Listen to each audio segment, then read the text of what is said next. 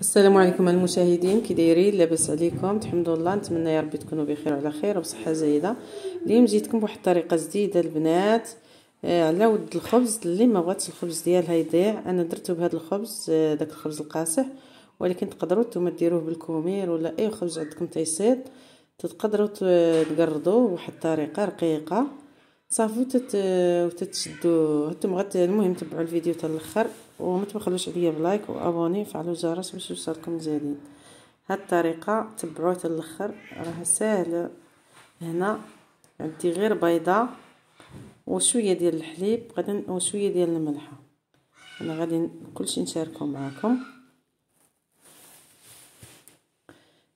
آه هنايا غادي نخلط هاد البيضة. كما تتشوفوا ندير شوية تاع الملحة. كما تتعرفوا راه الخبز تاع مالح تنخلط هادشي مع بعضياتو. نخلطو مزيان مزيان البنات. صافي تندير واحد المقلة فيها الزيت تا تيسخن هذا هو الخبز القاصح يعني راكم عارفين هذا تيكون موجود. هذا داك القاصح ماشي الرطب.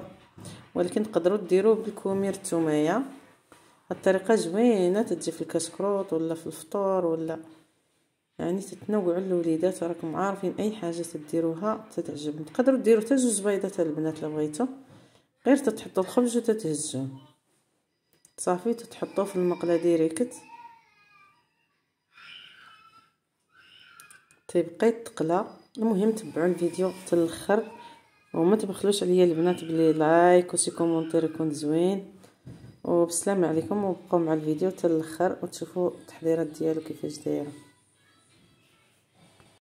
لما تحرم شيئا قل يا ربي يا مغني ينسيك لا تتذكر. سلام على من يشكر. لما تذل فإذا بك تنهى وتأمر كريم لما يغمر. لما يكسر قلبك قل يا ربي يا جبار. فإذا بالكسر يجبر قادر على ما لا يقدر. لما تصير مر